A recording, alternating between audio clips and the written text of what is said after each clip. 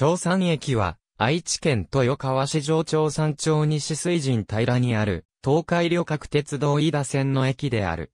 豊橋駅と辰野駅を結ぶ JR 飯田線の中間駅の一つであり、豊川市北東部の一宮地区に位置する。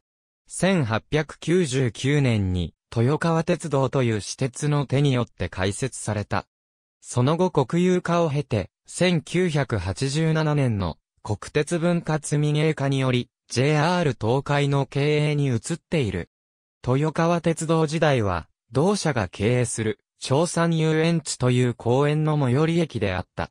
長山駅を開設した豊川鉄道は、現在の JR 飯田線南部にあたる豊橋、大会館を運営していた私鉄である。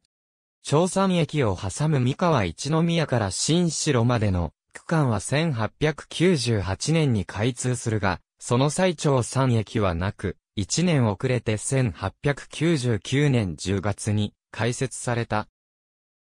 駅の設置は地元の強い要望によるもので、建設にあたっては、敷地の無償寄付や、費用の一部負担、勤労奉仕があったという。1943年8月、豊川鉄道線は、買収、国有化され、国有鉄道飯田線が成立する。これによって、長山駅も国有鉄道の駅となった。1971年には、開業時からの貨物営業が廃止されて、旅客専用の駅となり、そのまま1987年4月の国鉄分割民営化を迎えて、JR 東海に継承されている。二面二線の地上駅である。一番線側が一線スルーとなっている。単線上にある交換駅であり、列車の交換が可能。駅舎は一番線ホーム側にあり、二つあるホームは、構内踏切でつながっている。駅員が配置されない無人駅であり、管理駅である豊川駅の管理下に置かれている。かつては正八角形で、なおかつ瓦吹きの屋根と円形の窓を持つという特徴的な駅舎であったが、無人化後に荒廃したためコンパクトな駅舎に建て替えられた。トイレや自動販売機は改札外に設置されている。2017年度の乗車人員は合計74,701人で、1日あたりでは205人であった。近年では、1日あたりの乗車人員は、以下の通りに推移している。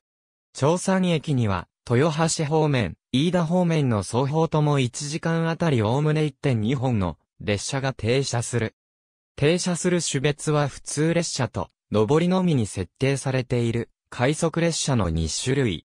また、普通列車には1日1往復ここで折り返す、豊橋方面行きの列車が存在する。特急、稲路は停車しない。1932年頃から、当時の豊川鉄道によって、駅付近に、長山遊園地が開設されていたが、太平洋戦争中に消滅している。長山駅バス停長山バス停。ありがとうございます。